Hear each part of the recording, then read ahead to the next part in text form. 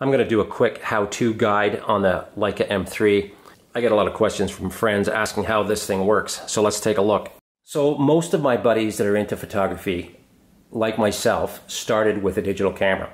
And a lot of them today don't even really have a clue of how all this stuff works. But the bottom line is it comes down to three things.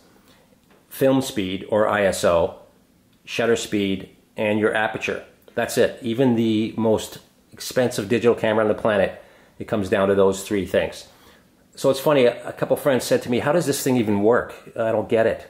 And these are the guys, they take great photos and everything else, but I swear if I gave them a camera and turned all the menus off and just said, you got these three things to change, take a photo, they wouldn't even get their head around it. So I'm gonna go through this here today. It's pretty straightforward, really, there's not much to it but I'll show you how the Leica works and what's going on and some of the, the buttons and features on this camera. And again, it's bare bones. There's no batteries in this thing. There's no light meter on this other than that new one I just put on and reviewed a couple videos ago. But this is the beauty of the Leica M3. Let's look at the lens first. This is a 50 mm Summicron, but they pretty much all work the same, whatever lens you've got on it. When you're grabbing the lens, you've got two options. You can change your aperture, which means you're making the hole bigger or smaller, gathering more light or less light. It's at f2 right now, I'll show you that here in a sec. And you've got the focus. So this being a rangefinder, in your viewfinder, you'll see two images when they're out of focus. And the further out of focus they are, the further apart the images will be. So to focus them, you just turn that focus dial on the lens and they kind of match up and when they're matched up in the viewfinder you know you're in focus. And the focus is done with this guy here. And you can see how short that is. It's about a third of a turn. If you grab other lenses your focus throw you can be turning it forever. This guy it's about a third from infinity to close focusing is really really quick. So that that's definitely a bonus so that's your focus and then your aperture. I'll see if you can see that. So that's the aperture opening and closing. So that's stopping down is right going that way, making it small. And then for the bokeh you or low light, you want to open that right up.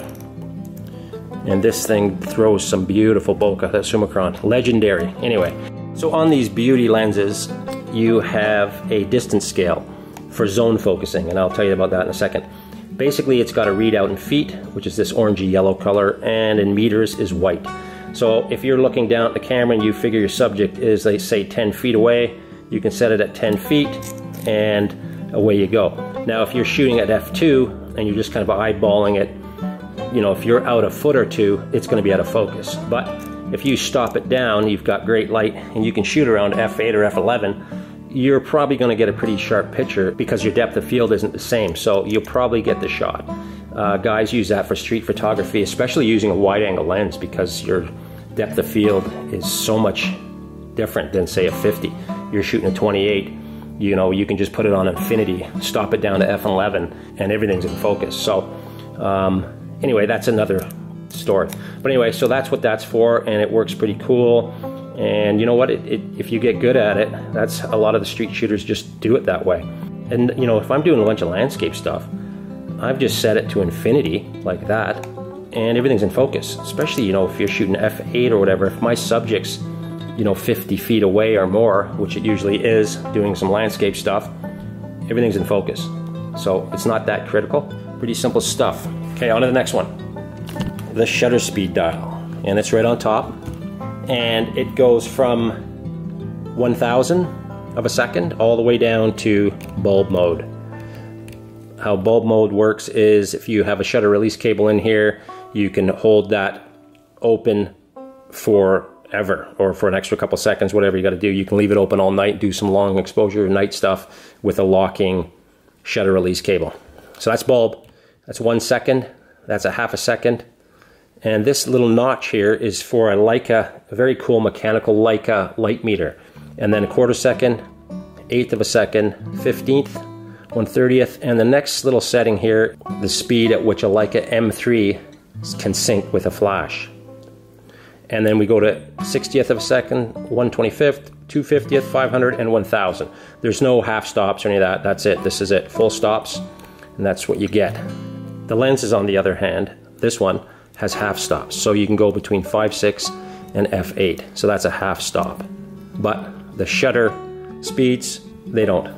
So that's it. Basically, you figured out your what you're shooting. If you got 100 ISO film in here, or let's say you got 400 ISO film in here, you got to do the calcs. This thing's not shooting at 4,000 of a second. So you're limited to what you have to work with. So let's say you've got 400 ISO film in here, and you're out in a bright sunny day, and you want to shoot at f2. That's not going to happen. There's too much light getting in for this shutter speed, which is max at a thousand. You'd probably need like 2500 or probably no probably about 4000 of a second or more. So if you got an ND filter you can you can change that up. But realistically if you got 400 film in there and your bright sunny day you're shooting at f8 or f11 in around there and that's kind of what you got to deal with. So there's a little more to it than than just pointing and shooting obviously and that's what makes it fun so this is your film advance lever and your cocking lever does it all at the same time and each time you take a shot, and you gotta love that sound, you have to cock it. It pulls another frame across, cocks it, and you're ready to go. And these guys are all brass. You can see it's starting to get some patina on the end there. I don't know if you can see that. Anyway, so that's that. Pretty sweet. To get film out of this thing, you click this guy to rewind the film. You put him over there, and it releases it, just kind of like uh, on other film cameras where there's a little button on the bottom. And then you can start cranking this stuff out. You pull this up and you wind it over, wind, wind, wind until you hear it. You can actually hear it and feel it. There's no tension, you can hear it in on the spool, and then it's safe to open the back up. Another awesome feature of the M3 is the self-timer. I use it all the time. It's great for long exposures. You don't have to bring a shutter release cable. And it's also great for selfies if you want to jump in the shot. It's very cool, it's very simple to use, and I'll show you how that's done. Just cock it, crank this little guy over here and spring loaded. Again, all mechanical, beauty. And it has a little button here. So it's ready to go.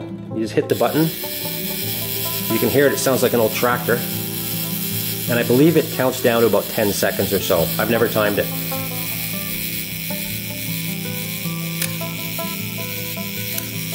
there you go. The first click is the shutter release, and the second one, I believe, is the self timer resetting itself. Pretty cool. So this lever here, it activates the 135 millimeter frame lines inside the viewfinder. The Leica M3 is set up so beautifully for the 50 mil lens, and the view looking through the viewfinder is just amazing. It's just so, it's just an awesome experience and I've had some upgrades done to it, but it's just an amazing thing. This is what it looks like looking through the amazing viewfinder of an M3. Uh, those frame lines are the 50 millimeter frame lines, and that lever on the front, I'll get it here if I can get it, there you go. That shows you the 135 millimeter frame lines. So standard is 50, and when you put a 90 on it, the 90 frame lines automatically pop up. But if you want to look at the 135 frame lines and just to get your head around it, you just hit that lever on the front. Cool. So let's look on the back here. And what you have on the back is, this is a film speed reminder dial. You push this in, little spring-loaded guy, and you can see this changes to what film speed you have. So you know what, it's kind of a good reminder. Um, it's not as simple as like the back of that Canon AE1 where you just put a hunk of the paper in the back. But you can use this because you know what, with film, a lot of times you put it in there, you shoot a half a roll, and then you know months can go by before you shoot it again. You don't know what you got in here. On the Leica M3, there's no window showing you what film you have in there, so you got to kind of remember. Or you could set this guy. So this is DIN and ASA. ASA is on the outside then you got to remember that you did set it. It's old school. Um, those other two guys there, this is, these pop out, and that is a sync contact for the electronic flash, so you can do that, or this has got a contact for a flash bulb in that one. So that's what those two are. So pretty much that's it on the back. This door flips open, we'll show you that. And that's how you get at the film by popping off the bottom plate. So on the bottom of the Leica M3, you have these two guys here. This one is a little lever that pops out. And you just turn it to take the bottom plate off. And this is for your tripod mount. And I've put a reducer in there because the one, the standard Leica tripod mount screw, it's a big honking thing. So, so here's the back again, and this opens up. And there is your curtain right there. Watch it go. I'll go to half a second.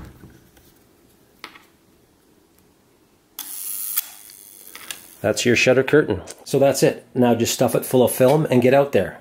Thanks for watching.